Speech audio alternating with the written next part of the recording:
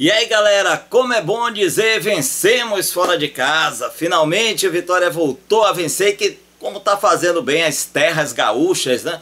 O, a, o, o, outro triunfo tinha sido contra a equipe do Grêmio, você lembra lá, 2 a 1 e agora a equipe do Internacional, 1 a 0 sofrido, suado, com o juizão dando umas pedaladas não fiscais contra o Vitória, um bocado de faltinha ali que ele não marcava para um lado, marcava para o outro. Não gostei da arbitragem do Pernambucano não, mas o que importa são os três pontos, a fuga da zona de rebaixamento, bota o Inter lá embaixo. Tá lá no lugarzinho que o Vitória tava agora, Vitória na portaria, 16 colocado. Lógico que ainda tem muito jogo pela frente, muita coisa ainda para rolar, mas a gente tem que comemorar cada vitória, senão não tem graça, né, porra?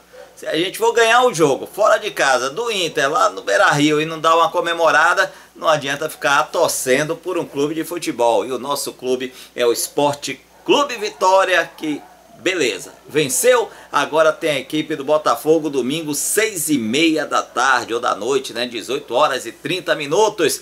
E aqui para nós, eu acho que a torcida do Vitória vai dar uma conferida legal nesse jogo e vamos encher o barradão, mais gente do que deu contra a equipe do Flamengo. Ah, mas o time tá na rabeira?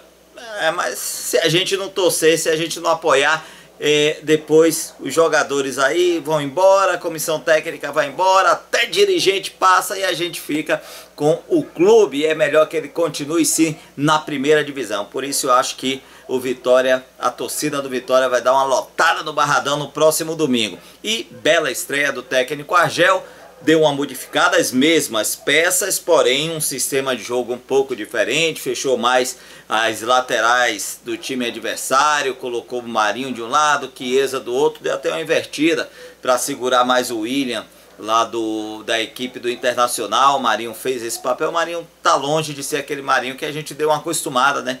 Marinho mais vibrante, mais brilhante, mas cumpriu taticamente a função imposta pelo treinador, Chiesa lá pelo lado direito, Zelov Bacana Zelov, né? Dois jogos, fez o gol contra a equipe do Flamengo.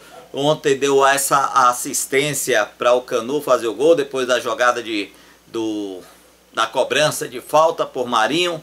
A bola resvala na cabeça ali do Ramon, sobra para o Zelov na direita, ele cruza certinho e o Canu, o zagueiro Canu, Canu entra de carrinho, faz o gol do Vitória, o gol do triunfo. Agora só que Canu recebeu o terceiro cartão amarelo, tá fora do jogo contra a equipe do Botafogo. Aí tem o Vinícius, tem o Henrique, será que vai estar tá bom para jogar? Tem Vitor Ramos, esse aí para mim ficava continuava de fora do time porque tem aprontado demais. Vamos aguardar agora para ver o que vai acontecer agora. Eu acho que a presença do torcedor rubro-negro é fundamental sim nessa partida, porque como eu disse, dirigente passa, uns não querem passar não, né? Uns querem ficar aí eternamente, que é o que a gente está vendo nessa coisa toda de reforma do estatuto. Mas um dia passa e o clube fica acima das pessoas. Eu conversava até com o nosso comentarista lá da rádio, Pedro Sé, muito bom comentarista da nova geração, e dizia, rapaz, a gente se separa até da mulher, né? Mas do time não tem jeito não. Então a gente vai continuar assim,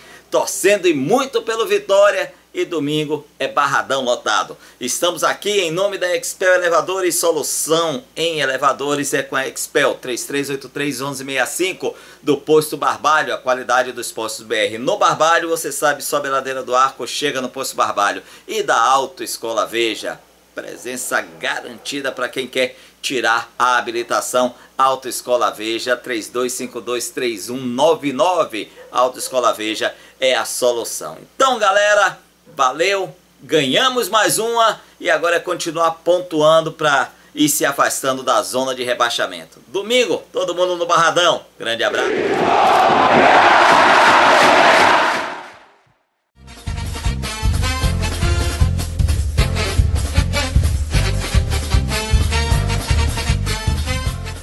Autoescola Veja, simulador prático, habilitação em todas as categorias, adição de categorias, Autoescola Veja, 32523199.